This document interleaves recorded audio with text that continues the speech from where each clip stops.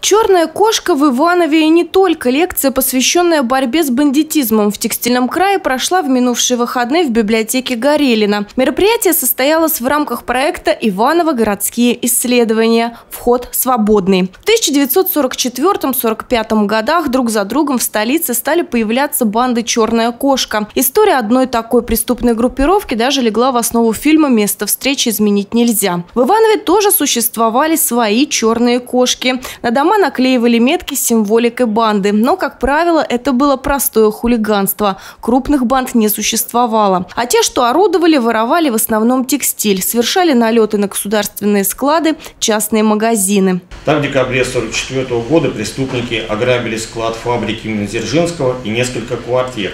А в ночь на 17 марта 1945 года напали на магазин Орса фабрики имени 8 марта – День, взломав дверь и связав сторожа, похитили разных товаров на сумму свыше 123 тысяч.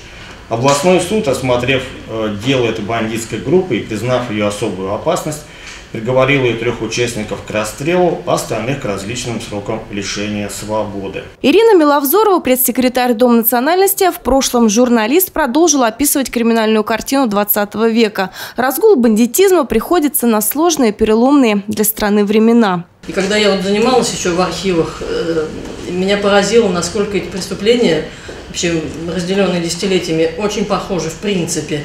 Может меняться там виды похищенных э, имущества, но суть как бы одна и та же. Даже такие мелочи, как способы проникновения в жилище.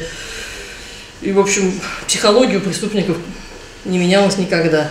Одно из самых громких ограблений 20 века произошло в 1974 году в Фурманове. Бывший милиционер похитил из банка 90 тысяч рублей. Безумные деньги по тем временам. Злоумышленник оставался на свободе почти 8 лет. Купюры хранил в подвале в трехлитровых банках. Подозрений ни у кого не вызывал. Ни квартиры, ни машины он себе не покупал, но много пил, причем угощал всех своих друзей и знакомых – где-то уже не в своем районе строил дом, ну, наверное, тогда дом это не нынешние дома, дарил, у него была дочь и падчерица, он дарил дочери хорошую дорогую одежду, золотые украшения, велосипед, сам за пять лет сменил три или четыре велосипеда, постоянно менял наручные часы, ездил на курорты российские, советские, естественно, вот, и, в общем, и, принос... и вот так вот жил. И никто его особо не подозревал, потому что на больше он и не тратил. На собственную жену вор денег не тратил, а преступлении он ей не рассказывал. Женщина сама догадалась и в 1982 году сдала супруга в руки правоохранительных органов.